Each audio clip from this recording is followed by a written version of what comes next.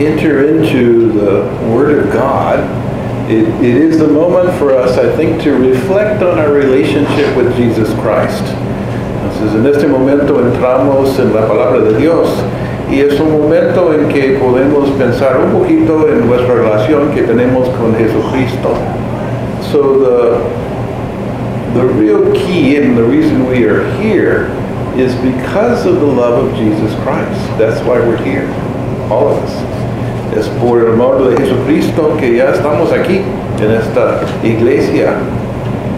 And it's really a time for us in a special way to present our own hearts to the Lord and to open them up to Him.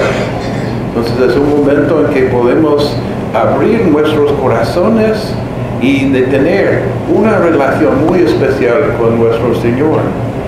So Jesus, in this moment, in love, is our Savior. He is our Lord. He is the one who is calling us into relationship with God the Father. So, Jesucristo en ese momento es nuestro Señor, nuestro Salvador. Y también Él está llamándonos de entrar en una, una relación muy especial con nuestro Dios Padre. So Jesus is what all of this is about. It's about His love for us. It's about letting Him touch each of our hearts. That's actually what the prophet Ezekiel was talking about, about changing our hearts from the stony hearts into hearts that were flesh. Entonces hemos escuchado en, en uh, la primera lectura que, que Dios está llamándonos de tener no corazones de piedra, pero corazones de carne. Corazones que ya están listos de recibir la gracia de Dios. So, in a special way, as we enter into this word, we're also reminded of uh, what St. Paul was, or at least the Acts of the Apostles, was saying to us about the Spirit of God coming upon the community of faith.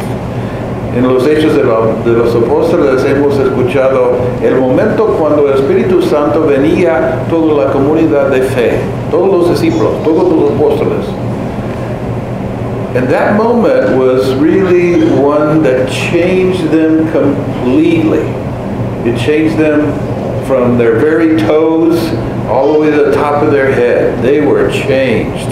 So, la venida del Espíritu Santo era un cambio muy fuerte para toda la comunidad, pero especialmente los discípulos y los apóstoles.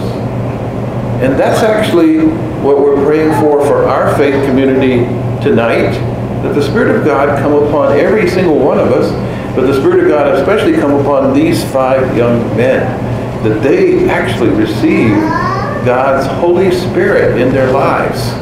Entonces rezamos todos nosotros para, para el Espíritu Santo que venga a toda la comunidad, pero particularmente a estos jóvenes que ya están aquí esperando la, el, los regalos del Espíritu Santo. And the gifts of the Spirit are given to each of us, and it's really the Spirit of Jesus, and He gives us those gifts to say to us that He wants to walk with us. He wants to travel with us in faith and in this journey of life. Entonces los regalos del Espíritu Santo en realidad son una llamada en que Cristo quisiera ser parte de nuestras vidas y Él quiere caminar con nosotros en la vida y en, en todo el viaje de la vida. So Jesus promises us that when we call upon the Holy Spirit, the Holy Spirit comes. Holy Spirit comes. And that actually gives us hope, one, as, a, as individuals, but also as a church, that the Spirit of God is alive in us. The Spirit of God is here for each of us. Entonces, tenemos esperanza en el, el Espíritu Santo que Jesucristo prometió a todos nosotros. Que si, si tenemos corazones abiertos, el Espíritu venga para nosotros, para darnos los regalos del Espíritu Santo.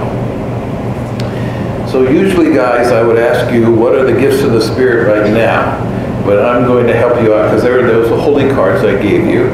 So I'm going to help you out right now. So the gifts of the Spirit that you're praying for are wisdom, understanding, knowledge, counsel, fortitude, piety, and fear of the Lord.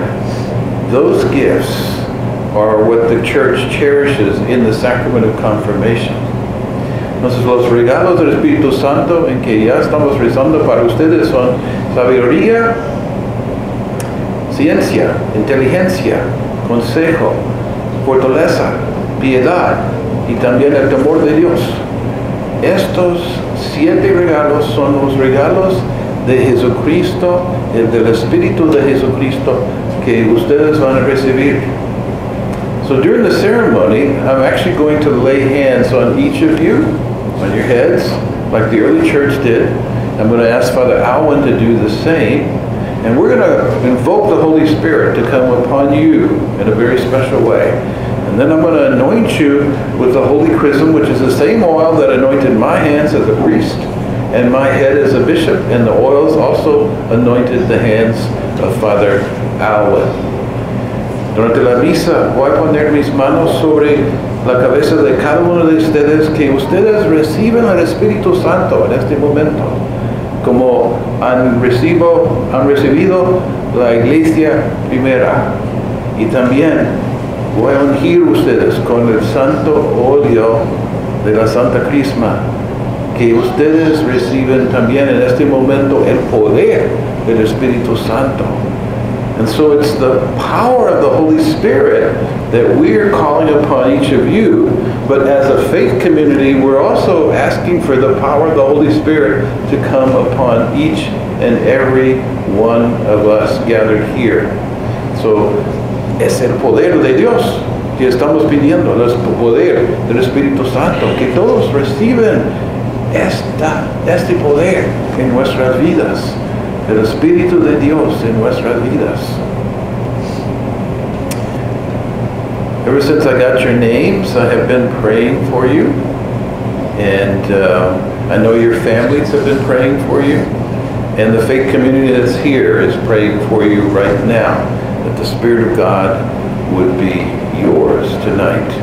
Entonces, en el momento que recibía uh, sus nombres, ya empezaba de rezar con cada uno de ustedes, que ustedes reciben el Espíritu Santo y toda la comunidad que está aquí, ellos están rezando también para ustedes, que reciben la gracia de Dios, pero particularmente todos los regalos del Espíritu Santo.